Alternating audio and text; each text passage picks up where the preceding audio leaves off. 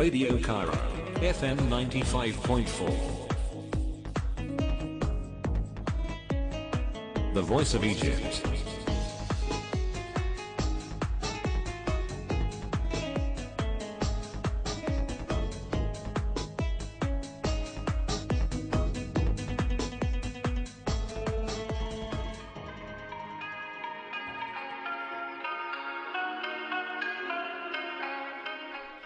4 o'clock in Radio Cairo. This is World of Info.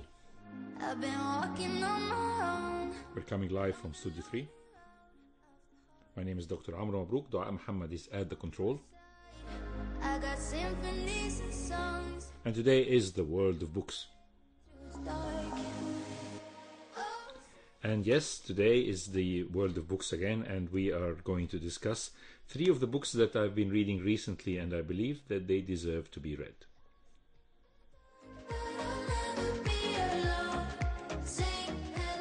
You know, of course, the rule of the game that I play with you, which is uh, should we read this book? Should we toss it? Should we skim it?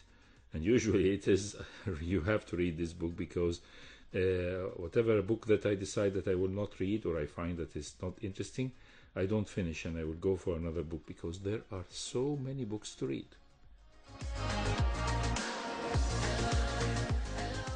So let's go directly to see what are the three books that I've brought to you today.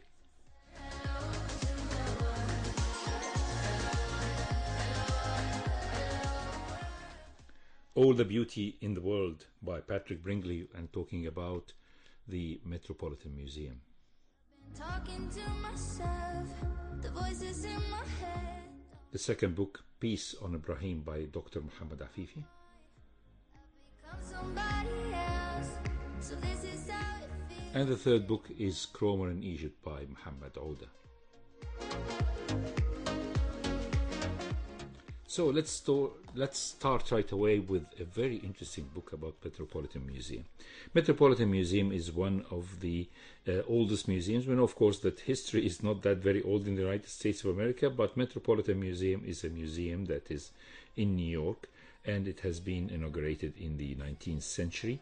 It has uh, a lot of uh, big collections, mostly by donations and by acquisitions of the museum. And this uh, amount of huge objects and structures in the limited space of the museum is almost equal to 2 million objects and at any time these million ob- 2 million objects of course very fraction small fraction of them are on uh, on the exhibition and the rest are kept in well kept in a lot of stores and uh, if we consider the amount of square foot area available for uh, the exhibition in the museum. It is almost 2 million square feet and so you need one square feet for every structure and of course this is obscene because some of the structures are huge especially for example in the egyptian section or in the greek section and therefore you can hardly fit in some of these structures. So definitely when we talk about the metropolitan museum we're going to enjoy our walk and who is going to guide us? The author of the book. And the author book of the book is patrick bringley. And uh, he has a very special story. How come he ended up as a security guard in the metropolitan museum is uh, a lot of drama in his life. Uh, the gentleman was uh, born to a family in uh, chicago. And his mother was uh, she was an artist. She was a, a theatrical actress in uh, in the play theaters in in Chicago. His father is a banker, and he has two siblings: a, a sister and a brother who is two years older than him. His brother Tom was like a guide for him on his life. He was a role model, although he's just two years older than him. And every place in the school or every class he goes to, people would say to him, so you're the brother of Tom. And Tom was a very clever boy. He was an A student or A plus student in mathematics, and of course he uh, had a very bright uh, mind and super intelligence. And of course, usually these children are a bit naughty, so he had a reputation to be a clever and uh, a not very much disciplined student or a pupil in the early years of his. And so this has given Patrick, our friend, certain uh, footsteps that he has to follow. And uh, they were very good friends, and and uh, And Tom uh, went uh, to the college, had a degree, and was preparing for his master's degree. He married the beautiful uh, uh, love of his life, but suddenly, unfortunately, he developed uh, a sarcoma in his uh, uh, lower limb. And of course, uh, you don't need very much of uh, medical knowledge uh, to know that sarcoma is one of the most malignant tumors that can really affect the life of human beings. And usually, it is fatal, whatever the type of treatment or management you can give, especially if it is misdiagnosed or lately diagnosed. And unfortunately, Tom has suffered for many years, and at the same time, he was. Uh, Patrick, the author, was always trying, he and the family, to be standing and uh, keeping uh, a smiling face with uh, with a lot of tears that are frozen in their eyes as they watch Tom while he was uh, dying slowly from his ailment. And to to add uh, more bitterness to the story, uh, Patrick has decided to get married and he found the love of his life. And unfortunately, on the day of his uh, marriage, uh, his uh, uh, brother could not attend because he was very weak. And on the day of the wedding, that supposedly was going to happen, uh, the party was cancelled because his father, his brother, died on this particular day. So Tom, Tom Patrick came out of this agony with severe depression and distress. He has already graduated from college and he was having a, a degree in writing in journalism and mass communication. So he found a job in the New Yorker uh, journal magazine, and this is a very prestigious job to work in the editorial office of the New Yorker. And uh, he found that uh, his life after Tom is going to be very difficult. So he decided to take a slow path career and he applied for a job to the Metropolitan Museum. Why to the Metropolitan Museum? Maybe it's because of New York, because this is where his uh, brother died. Maybe he has uh, great love and admiration to the Metropolitan Museum. He remember quite well when he used with his uh, to go with his mother and his siblings uh, to Chicago uh, Institute of Art, which is a beautiful museum in Chicago. If you have ever the time to go there, you have to visit, and it's full of beautiful uh, artifacts. But uh, their mother took them to Metropolitan Museum, where they had the times of their lives. Every time they go to the Metropolitan Museum, uh, his his mother, who is a real artist in heart, trying to uh, give the love of art to her children, would always tell them, uh, "Tell me what you like in this museum. What is your best pick? What type of uh, art you like? Why do you like it? And even if you don't find the words." What makes you like it or not? And this is the advice that uh, Patrick, through his life in the Metropolitan Museum, is going to tell us. Find to find a piece of art that really you would love is to find how much it touches your emotions, how much it gives you happiness to watch and see. And uh, that's the idea of the book because uh, Patrick decided that he's going to live in the in the slow lane. He's not going to live in the fast lane anymore. He decided from the psychological trauma of the death of his brother to work in a museum as a as a security guard. And the job of the security guard in the Metropolitan Museum is, as one of his colleagues told him in the beginning, is just like a scarecrow or a palace guard because they are not they are never tested but their presence is very very important because they are the ones who direct the uh, the visitors who if we want to say the number of visitors that visit the metropolitan museum every year are almost 7 million people and the amount of artifacts on display are of course few in comparison to the 2 million that the, uh, the Metropolitan Museum owns.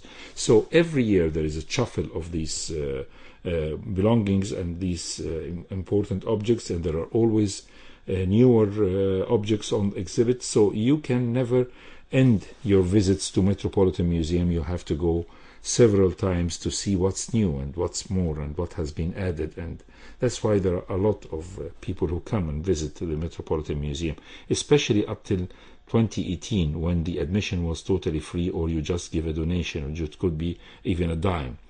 Unfortunately, this has been repacked by now, and uh, anyone is asked to, to pay the, the fees of the uh, of his ticket, except the people who are living in New York State. and New York State and also the suburbs of New Jersey, they can get this admission free to the uh, to the museum. So when we talk about uh, the museum with this structure, it needs a lot of guards who are present in all the halls. And uh, to keep them a bit amused or a bit awake up, they have these long shifts. They are not allowed, of course, to to drink, to smoke, or to eat. Uh, they are not allowed to sit, but they would walk around in uh, the halls, and they would go. The shift will be for three uh, uh, sections. So, section A, he would go, for example, to hall A, and then uh, two hours later he will go to hall B, and then two hours later he will go to hall C. And there is a director of, uh, of this security arrangement who, uh, when you go in the morning, you will be in the meeting room, and uh, the the director of the security is going to tell you which room you're going to be and who are going to be your colleagues today. And so it's to keep them motivated, it's to keep them busy so they are not hanging around in the same hole. And that's what attracted the attention of Patrick to say, I will work there because every day will be a new experience to me. Every day I will have the chance to examine all these arts endlessly, and every time I will have my own grieve to grieve in in uh, in taking time to grieve because uh, working as a security uh, guard in the Metropolitan Museum you have all the time to do nothing but to uh, be there so being there or watching the people as they watch the, the, the rooms that you are guarding and looking around will definitely give you a lot of time to meditation and will give you some time to uh, to decide what should you do in your life.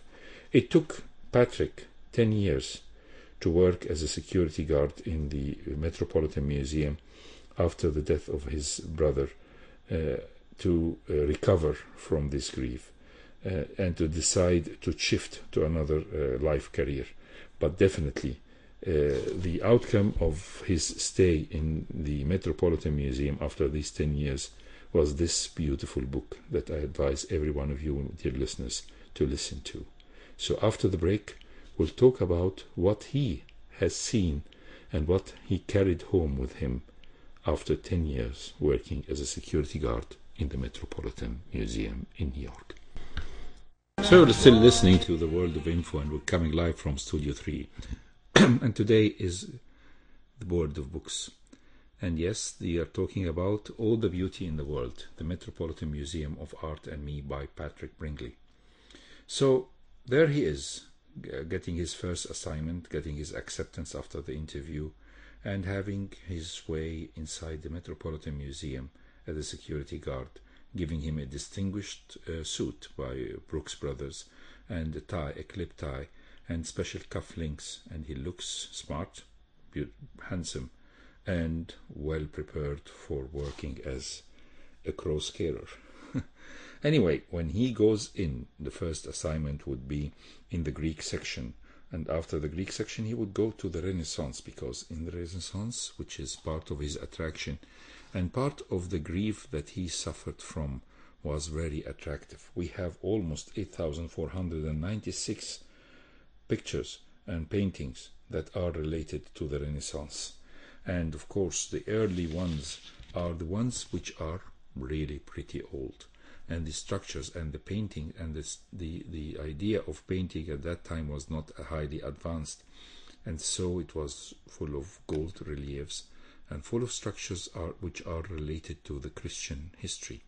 And uh, we can see of these uh, uh, halls, especially the corridors, we of the old masters, we can say see Italian, Flemish, or uh, from Netherlands, and there are 200 paintings related to Jesus Christ, and most of these paintings, as he have noticed, are related either to the final moments of Jesus Christ or the early moments of Jesus Christ. So it goes either to the Madonna and always the, the suffering of the Madonna with her uh, son. And these pictures have really touched his heart, and these uh, have really affected the way he looks at life and how he has uh, great admiration to them. In spite of not being Christian, as he said, yet he was very much touched, and especially when he saw the uh, Pieta, which is uh, the uh, uh, the picture that his uh, mother have really loved, and that is the Madonna as she is holding the body of Jesus Christ after being taken off from the uh, crucifix, and uh, remembering, of course, as his mother was watching in, in full tears, uh, the the agony of the mother as she's carrying the uh, body of her son, the same experience that his mother had with her uh, beloved son Tom. So we can see old masters all over these uh, corridors, and we can see old masters going there, and especially, of course, the structures that are related or the paintings that are related to Venice, because Venice is a very important uh, city. It is what we can call the impossible city because it has been a center of trade, it has been a center of art, it has been a center of uh, of fortune and and uh, patrons and people who are giving um, a huge amount of money to the painters to immortalize moments, to immortalize uh, minutes and immortalize structures. And Venice comes, and the color of the beautiful sea, which is Venice related to, because Venice is uh, related to the uh, like the sea blue. And uh, we can discuss for hours the Venus and Adonis, one of his favorite uh, paintings by Titian and as we can go around, we can really lose ourselves in this section. But uh, on another day, he had his first uh, conquest of Egypt, or should we say, Egypt conquered him.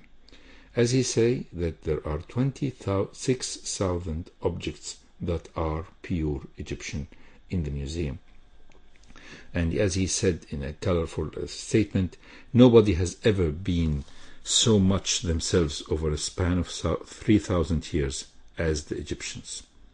And always the question that is people are asking him, is this real? Is this old? And he always tell them, we don't have copies in the Metropolitan.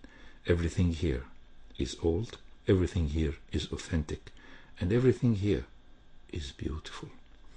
Perhaps one of the favorite collections that he like in the Museum of uh, Metropolitan is the amount of the wooden structures that were uh, found during the Metropolitan excavation expedition that happened in uh, small uh, uh, tomb that everybody thought that it was completely uh, robbed thousands of years before, but they found in the Metropolitan Museum in 1918 to 1920 in this excavation expedition, they were able to find beautiful wooden structures that relate to the Middle Kingdom, which are uh, almost 200 workers, uh, figures of 9 inch tall, that are describing the life of the people who are serving this rich man who died, and he has taken the models of them with him in the afterlife so they will serve him in this life. So we can see people working, uh, grinding, or uh, cooking, or whatever, and these beautiful structures are there behind the walls, and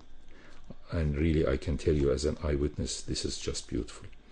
Also, another important uh, uh structure in in the in the whole museum is the Hatshepsut area or the Hatshepsut statues that are there. Queen Hatshepsut was a very distinguished queen in Egypt, and she always uh, proved herself, tried to prove herself that she was the daughter of Amun Ra, the god, as she was a female but deserved the way of being a queen. Some of their uh, statues, uh, she is shown as uh, as a man, but other, she, especially the ones that are in the uh, Metropolitan Museum, she has been shown as a lady and a very pretty one as well. And of course, uh, the section of the mummies is uh, the attraction of the uh, of the museum, especially for youngsters.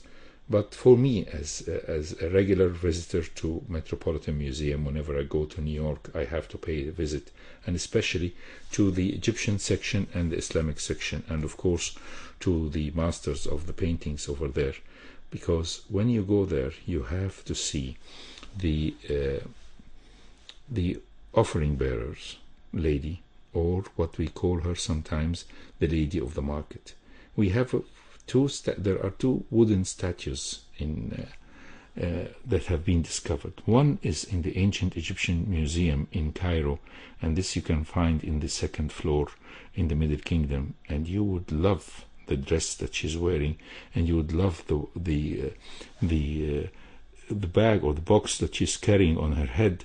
The structure, which is full of geese that are offerings, and other structures and uh, jugs of beer that she's carrying towards the temple to, go, to, to, to deliver them as offerings to the temple. But also, the dress that she's wearing is beautiful, very fashionable, and of course, her physique is very uh, lovely, and she is almost uh, two thirds of the size. This beautiful wooden statue has a twin of it in the Metropolitan Museum. You have to see it there and you have to understand how beautiful it is. She remains Egyptian, whether she was in America or in the Egyptian Museum in Cairo. Another vital, important structures that I really love to, to attract your attention to you is uh, amount of the of uh, the Fayum portraits that are there in the Metropolitan Museum on display. They are just beautiful. You can see the eternal looks and the eternal eyes on the uh, beautiful Fayum portraits, which used to be uh, uh, drawn on pieces of wood to cover the head of the uh, of the mummy in the Greek period, in order to allow the Ka to come and identify the body later on. These beautiful structures, of course, are part of the Egyptian uh, section or the pharaonic section in the in the museum, but we cannot miss the Temple of Dendur, which was a gift from uh, Egypt in the 70s to the government of the USA or the Metropolitan in order uh, to keep uh, the friendly relation of of this both countries when the United States shared in the saving of the temples, especially Abu Simbel temple and the rest of the temples who were behind the high dam and were going to be exposed to drowning. So this small temple of Isis and uh, a beautiful temple has been a gift from the Egyptian government to the metropolitan, and we can see simply that although the pharaoh looks exactly like a pharaoh, but the inscription to his is that of Augustus Caesar, the, the emperor, the Roman emperor of Rome, when he came to Egypt and got to the throne, he was so very much impressed by the Egyptian culture, and he became uh, suddenly a believer in the Egyptian uh, uh, religion, and therefore he built this temple to Isis in uh, the place south to what's now the High Dam. As we go with through the eyes of Patrick, we'll go to the Chinese section or to the Benin in Africa, or should we go and pass through the blockbuster of the museum where there is the Picasso collection and it, and you would be amazed to find out that there, the, the Picasso collection almost uh, about 300 objects, which whether these or sketches or paintings of uh, valuable uh, paintings and sketches and work of art that has been done by Picasso. As we go there, we have seen that even the Metropolitan Museum decided to build another annex of it uh, somewhere out uh, in Manhattan to uh, to house the unfinished artifacts that they have but unfortunately, the project didn't continue. It was open in 2016 and later on it was closed for lack of funds. As we go through the Greek section, we can see the huge statues and the ideas behind it. And of course, when we go to the Islamic section, we are going to be stunned because we are going to see uh, different uh, prints or different copies of Quran written in the beautiful Egyptian uh, Arabic calligraphy and related to different periods and eras. And of course, we cannot miss the huge uh, ceramic collection and the pottery and the and the uh, structures that are there and the wooden carving and how the idea that uh, the Muslims uh, the Muslim artists uh, have used the geometry and has used the uh, the circle and ending from this circle different uh, structures that goes into diagonals and uh, squares and hexagons and leaves and leaflets to ornament the mosques because they didn't want to use the animal motif. They used the animal motif in their homes, but they didn't want to use the animal motif in their uh, mosques. And uh, we can see and glimpse how uh, he was so touched with this uh, art and with this religion that he has re- re- read in the philosophy and the Sufism of Ibn al-Arabi uh, through the works the, the works that were there in the Metropolitan Museum. So when we go and we leave, he will know. He will tell us that he had to leave. He has uh, Metropolitan Museum has helped him to get uh, cleared from all the grief that he had for ten years. He decided to go on with his life now that he has a wife and two children who are much in need of him and his presence because the working hours are more too much hours in the, in the museum. And the, uh, he decided that he will go back slightly into the fast lane leaving the slow lane of the endless hours in the, between the walls of the great museum leaving us with beautiful stories and beautiful information about the Metropolitan Museum, and definitely leaving us with an important thing about how people behave in grief, how they can change the grief into something productive, or how can they heal by time. And everybody should heal by time, whether this is slow or fast, but life must go on. So as he leaves, he tells us his advice. What should we take from this museum? What should be the best structure that you like? What should you love and what you should always cherish and remember? And he, as he's leaving the museum, saying to himself, I'll come back, not as a security guard, but as a visitor to a great place. A place that deserves to be seen. If you ever go to New York, go and visit the Metropolitan Museum. And if you ever have the time, read the book of Patrick Bringley, which is called All the Beauty in the World and about the Metropolitan Museum. You are still listening to the World of Books and coming live from Studio 3. Stay tuned with us. After the break, we'll be coming back. So, we're still listening to the World of Info, and today is the World of Books. We have presented our first book, which is called All the Beauty in the World by Patrick Bringley about the Metropolitan Museum. And our second book today is Peace Be on Ibrahim, a book by Dr. Muhammad Afifi, who is a professor of history in Cairo University, a man who has a real uh, interest in history and has given us a lot of beautiful books and has done great research. And uh, he has been the head of the Department of History in the Faculty of Arts, Cairo University, and the General Secretary of the uh, Supreme Council of Culture and he has, of course, the, the distinguished uh, uh, decorations from Egypt, whether these are the Supreme uh, Appreciation uh, Prize in the scientific or in the social studies in the year 2021, and uh, the other uh, citations, and of course, rare caliber. And he has chosen to deliver some historical information by something beautiful, which is by a short novel, and it's called Peace Be on Ibrahim. Uh, taking uh, uh, further the how to spread the historical facts and how to spread information in a simple way to attract the attention of readers, whether especially the unspecialized ones who are uh, have don't have a degree in history and might be afraid to go into through the, through the historical books so a man like Dr. Uh, Professor Muhammad Afifi is going to write a novel about uh, an incident, a historical incident, and I had the uh, the great honor of talking to him uh, before the program about this uh, beautiful uh, novel of his, Peace Be on Ibrahim. And unfortunately, he cannot join us. He's uh, he's francophone. He speaks French and Arabic, so, so he decided to, give us some information, and I'm I'm delivering this information about the book. Uh, Professor Afifi decided to uh, to talk about uh, Ibrahim Basha. Ibrahim Basha is the son of Muhammad Ali, and Muhammad Ali is the founder of modern Egypt, and definitely Ibrahim Basha was his right arm, a man of great wit and charm, and a, real uh, talented military leader who was the commander in chief of the Egyptian armies, who he has proved himself in all uh, fields of, uh, of uh, war and all fields of, uh, uh, of battles that he did. uh, under the name of his father, Muhammad Ali, and under his patronage.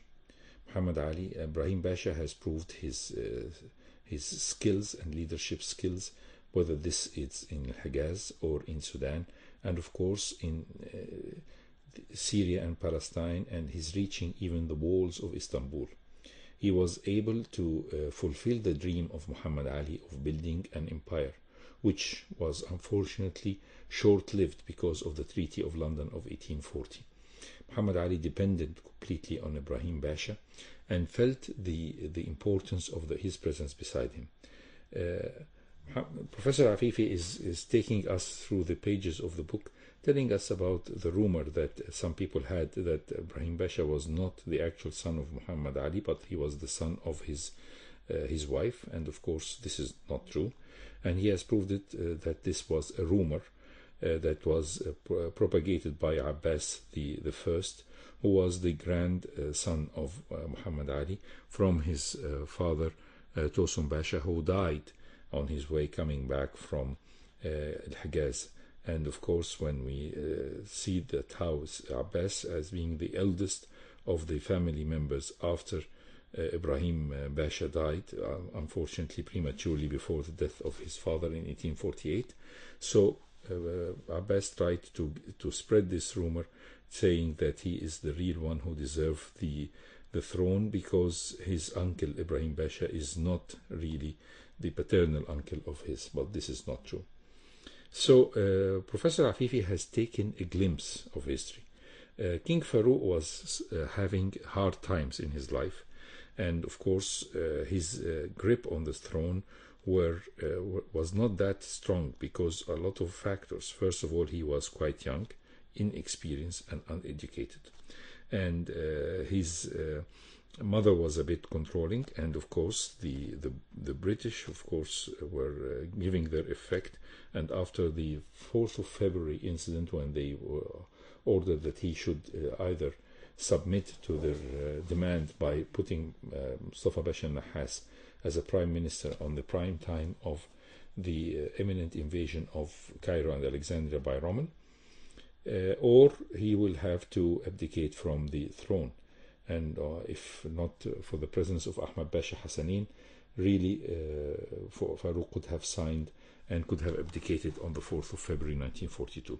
So uh, Farouk was uh, was trying to find a sort of legitimacy and secure his uh, his love among the people, popularity among the people of his country, and he decided that he's going to celebrate the centennial of the death of Ibrahim Basha in 1848 and the, the centennial of the death of uh, his grandfather, great grandfather Muhammad Ali in 1849.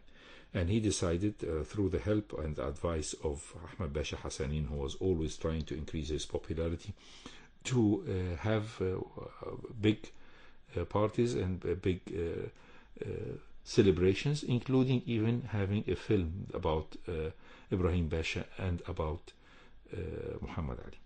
But the first, the film of Ibrahim Basha, because his centennial was in 1948. Unfortunately, Ahmad Basha Hassanin died uh, prematurely in a car accident, which has a lot of strange uh, circumstances surrounding it.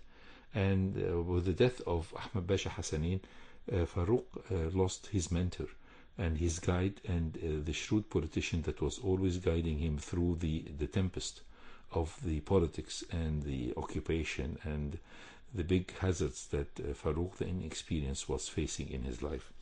So uh, uh then starts the novel because uh, we know that uh, uh, Farouk wanted to make this movie.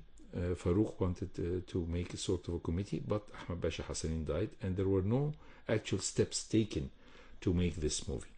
So Dr. Muhammad Afifi has taken the thread and made about make it as a sort of a novel. He said if if ever this committee would have been formed, it should contain the following. It should contain a historian, and this historian was the famous uh, Dr. Professor Shafiq Ghurbal, the great Egyptian historian.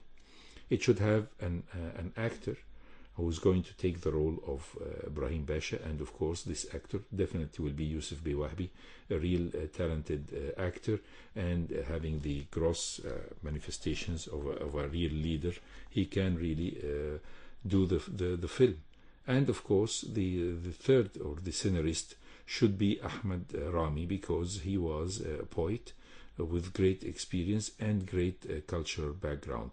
So the, the committee of the three, beside one of the uh, gentlemen who was working in the uh, in the as a chamberlain of the of the king, could act as the link, and therefore this would be uh, Karim Sabit, the the famous uh, journalist, because already Ahmed Basha Hassanin was dead. So uh, the book goes about how uh, these people would meet, what should they write about Ibrahim Basha, should the film give a mention of the uh, the bad relation that started happening between Ibrahim Basha and, and his father Muhammad Ali, as Muhammad Ali was getting aging and slowly passing into atherosclerosis and definitely starting to be extremely paranoid against his son. Should this be mentioned? Should uh, should we draw a lot of lines and should we pass through the forbidden area of this? Uh, tension that was there between uh, Muhammad Ali and Ibrahim, or should we just glorify him as a great leader? And all these discussions uh, by by them, Professor Afifi is giving us real historical moments, real historical mementos, and telling us about the current king at that time and his uh, and Camelia, the famous actress, who rumors has it that she was one of his uh, lovers or girlfriends that uh, Muhammad, uh, King Farouk enjoyed her company and how she died mysteri- mysteriously in an aeroplane accident. So uh, the novel, in spite of being short, gives us a glimpse of uh, different characters and gives us uh, rightful information about Ibrahim Basha and about the, the, the final years of his uh, fruitful life and the, the, the times that he had. He has been always loyal to his father, but the atherosclerosis that developed, or the Alzheimer, or the wrong medicine that he has taken, which was mercury, uh, to stop the uh, to stop an bout of diarrhea in 19, 1841, has led to some uh, neurological manifestations that increase the level of paranoia in the mind of uh, Muhammad Ali.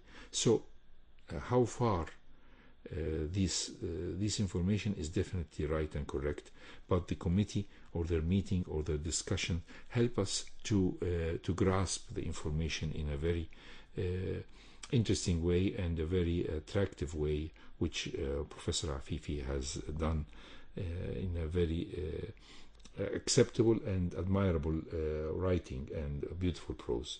A book that deserves to be read. Unfortunately, the film was never made and unfortunately the story finished uh, of course with the fact that the film has been abandoned and all the members of the committee have been disbanded. But we know that they survived after that and there was a revolution in 1952 so uh, peace be on ibrahim by professor muhammad afifi and a beautiful book beautiful novel and really uh, definitely we hope that uh, Professor Afifi will go on writing these uh, novellas, uh, especially that we have seen another novel about the General Iscaros and Yaqub, and we have um, mentioned this before in one of our previous episodes. You're still listening to the World of Books, and we're coming live from Studio 3. My name is Dr. Amr Mabrouk, and Dua Muhammad is still on the control. You're still listening to the World of Info, and we're coming live from Studio 3, and today is the World of Books. Our third and final book is last but not least is a book, beautiful book by Muhammad Ouda about Cromer in Egypt. And we all know who is Cromer. Cromer is the Lord Cromer or Evelyn Baring, number one or the first. And he is was a very distinguished uh, diplomat and employee who worked in uh, in India, and he was summoned up in the late 1870s to work in the Egyptian government for some time.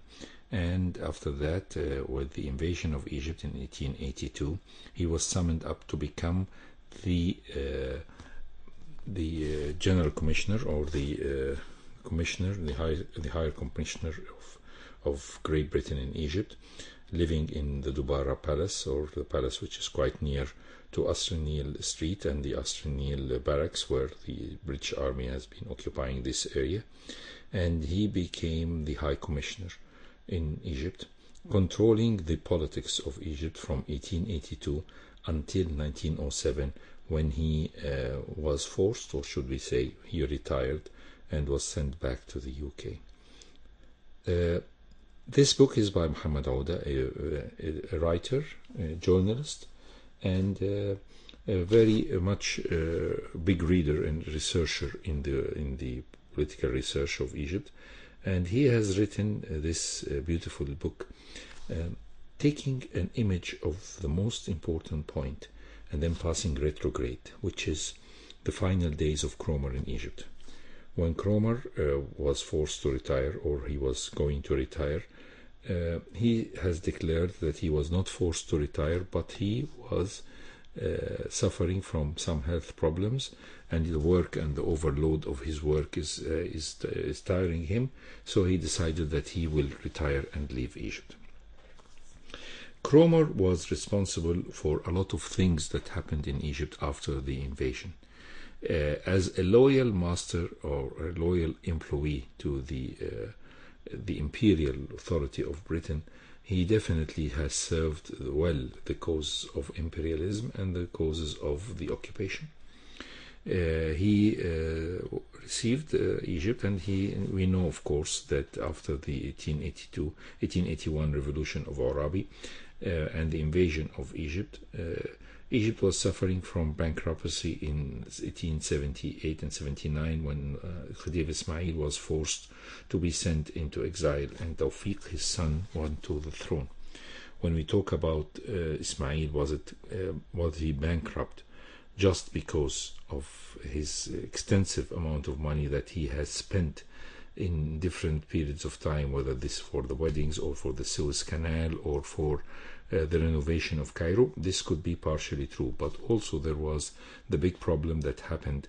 Uh, we know that what happened in the first uh, in the war of uh, uh, the civil war that happened in, in the United States of America has made the cotton not available for uh, delivery in all over the world, and Egypt was the biggest source of cotton at that period of time, and therefore Egypt banks, Egypt safe was full of money and uh, and Ismail started spending money depending on the fact that he is going to have more money to replenish this money that is lost, but it didn't happen. And of course, uh, he was forced to sell his shares in the Suez Canal, the Egyptian shares, and therefore for, for uh, forced to abdicate. And there started the uh, the idea of how to pay for the debts of Egypt.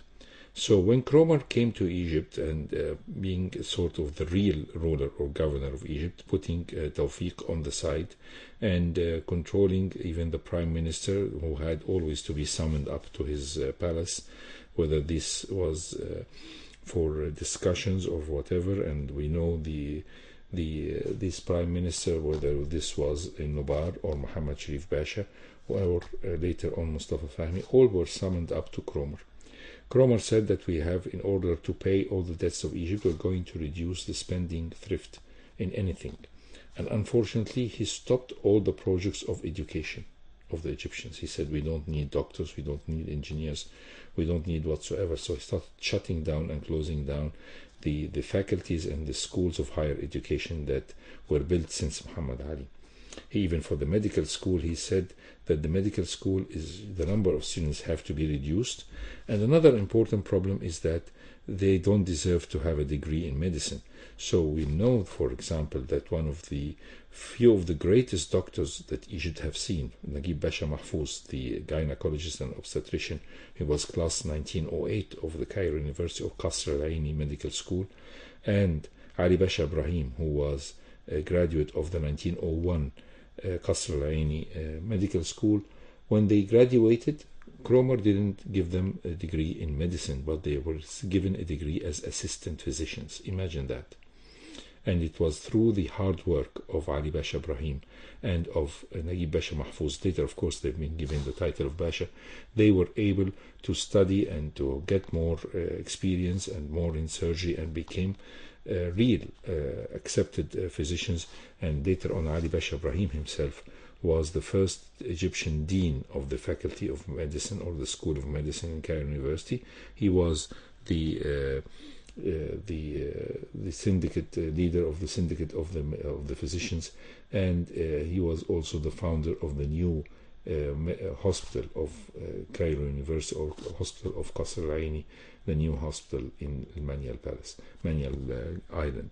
When we talk about uh, Ali Basha Ibrahim or Naguib Basha Mahfouz, we can talk for hours, but we are talking about how Cromer has been shrewd in, in pushing down all the signs of education. And he said the Egyptians don't need to have higher educations.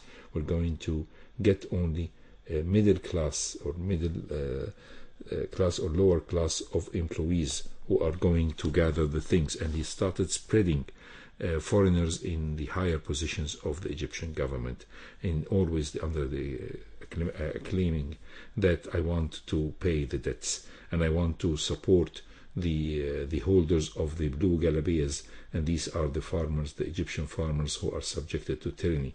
While actually he was the one who was responsible for uh, the the judicial uh, tribune that happened to the uh, in Denshawai, and he has uh, forced the uh, the judges at that time to give strong sentences of condemnation for death of few or many of the uh, of the Falahin, who was claiming that he was protecting their rights, were forced either were sentenced to death and hung, or some of them were uh, subjected to uh, severe slashing by the whip and uh, put into jail for many years.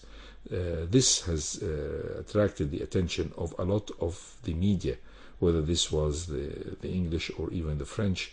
And uh, Cromer, in the end, this was 1907, and this incident of Denshawai has put an end to the career of, uh, of Cromer, who has uh, become a tyrant in, in Egypt.